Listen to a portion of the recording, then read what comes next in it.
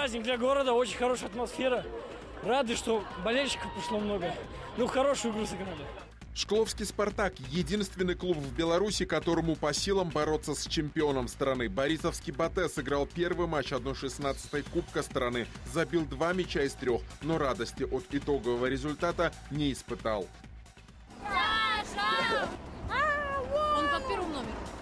Самые медленные машины, но самые быстрые среди маленьких. В Могилеве прошел чемпионат по картингу. Видох. Видох. Очередной тренировочный день прошел под водой и над водой, но плавать мы не учились.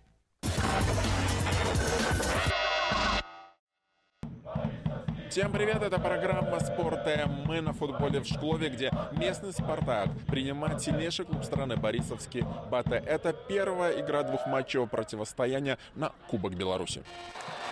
Незадолго до начала поединка полторы тысячи болельщиков узнали. Против местных футболистов сыграют дублирующий состав гостей. Эта информация не столько расстроила зрителей, как породила разговоры. А что если такой состав грозной команды можно было попробовать обыграть? В тот момент никто не думал, что Батэ в этом году никогда, никому и нигде не проигрывала.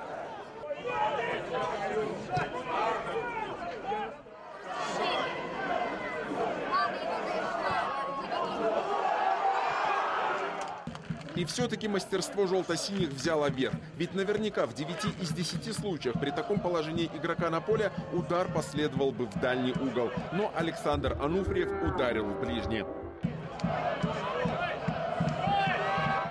Это был гол гостей в раздевалку, который дал пищу для размышлений не только тренерам, но и болельщикам на трибунах.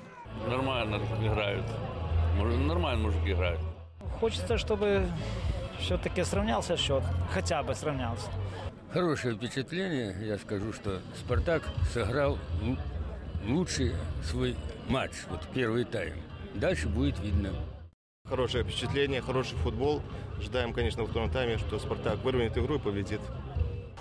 Болельщик со стажем как в воду глядел, но обо всем по порядку. Вторая половина встречи началась с массовых замен. В желание освежить игру тренерские штабы обеих команд выпускали на поле новых футболистов. Команды ходили поочередно в атаку, но гол был забит защищаясь. Игрок и вратарь Батэ не согласовали действия, и мяч, подправленный Ильей Климовым, угодил в сетку ворот. Пока обескураженные гости приходили в себя от собственной же оплошности, время матча таяло, а перелома в игре не наблюдалось. Матч катился в ничейную гавань, когда размашистая атака «Спартака» увенчалась успехом. Васько вырезал диагональную передачу на Левшукова, и тот отправил мяч в дальний угол ворот. 2-1. Играть оставалось две минуты. Их «Спартак» дотерпел.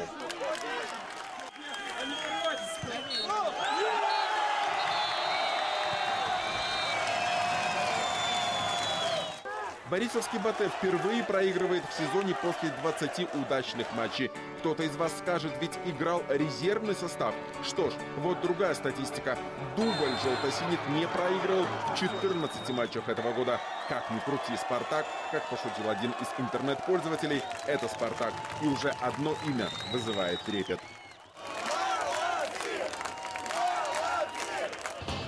Чуть-чуть э, повезло в концовке, сделали хорошие замены тактические. И вроде бы как замены сработали. Самое главное, что ребята доставили удовольствие зрителям. Это самое главное. А дальше я хочу, конечно, пожелать ребятам Батэ главной команде, чтобы они выступили удачно. И мы все вместе будем с командой молодой и нашей командой болеть за их результат. Будем всей республикой переживать, потому что они представители нашего белорусского футбола сегодня на международной арене. Ну а потом будет тур в чемпионате страны у «Спартака», а через две недели встретимся вновь в ответной игре на Кубок страны. Сыграли в Кубке Беларуси и еще два представителя Могилевской области. Бобруйская Белшина отправилась на выезд в Гомель, где провела матч с командой Гомель Желдор Транс. Наша команда одержала победу со счетом 2-1 и в хорошем расположении духа готовится к ответной встрече. Свою очередь, Могилевский Днепр потерпел крупное поражение от Новополоцкого Нафтана 0-4. Голы на любой вкус сыпались в ворота Журова в первом тайме. Теперь шансы в ответной встрече у днепровцев минимальны. Тем интереснее, как проведут вторую игру могилевчане.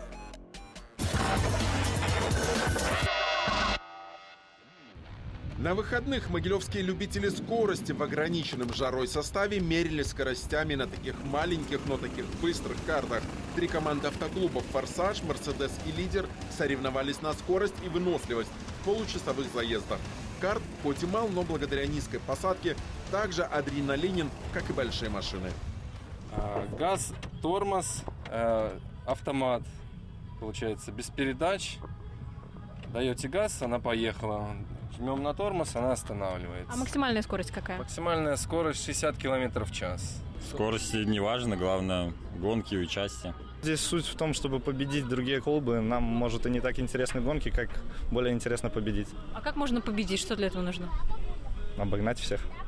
Логично, хотя соревнования носили скорее личный характер, но группа поддержки исчислялась и теми, кто только еще выходит на тропу скорости. Например, Иван Дмитриевич, как он сам представился. Вы в самом карте разбираетесь? Можете нам рассказать, показать, что где? Нет, я не разбираюсь, я пока что не автомеханик, я еще ребенок. Я не могу разбираться. Иван Дмитриевич сразу определил фаворита – пилота Сашу.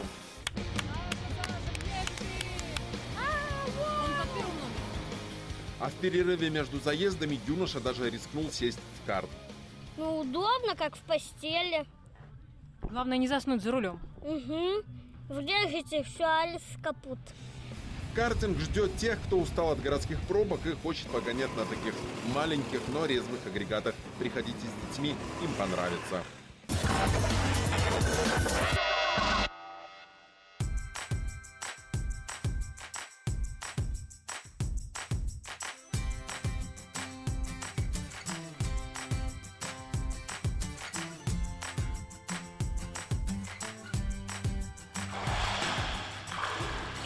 Наш сегодняшний тренировочный день особенно понравится любителям аэробики. Только мы сегодня пойдем, вернее поплывем дальше.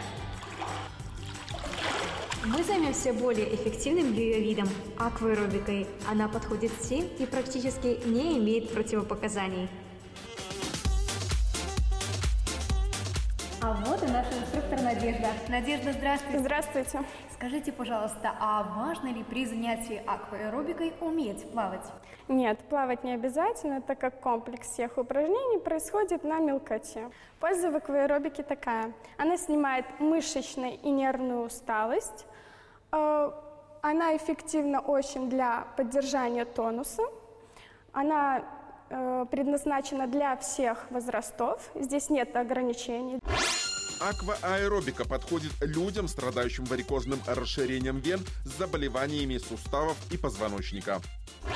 Сначала начинаем с разминки, конечно, потом упражнения идут на остальные части тела. При выполнении упражнений в воде происходит лимфодренажный массаж всего тела, за счет которого убирается апельсиновая корка. Это целлюлит. Первое упражнение.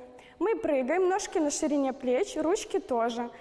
При прыжке мы немножко приседаем. Начинаем. Раз, два, раз, два, раз, два. Выдох.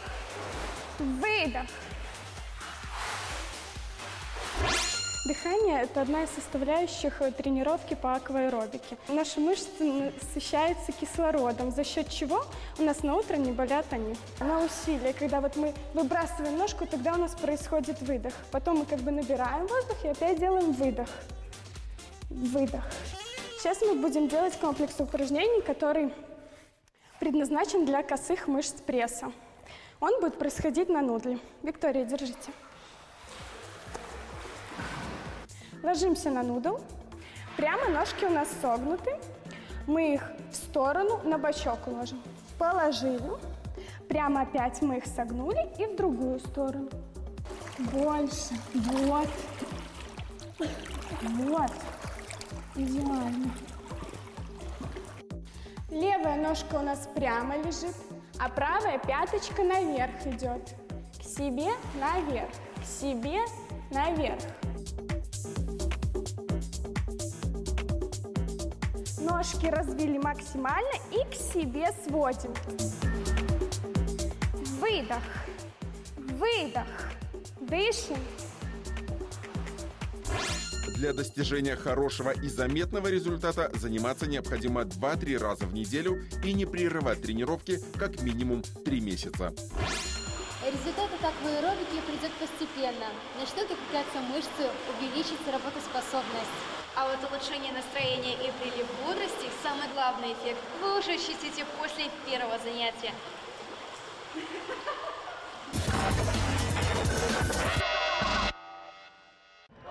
На сегодня все новости. Это была программа Спорт М. Любите спорт, поддерживайте свои любимые команды. Мы увидимся на Беларусь 2 уже в четверг. Счастливо!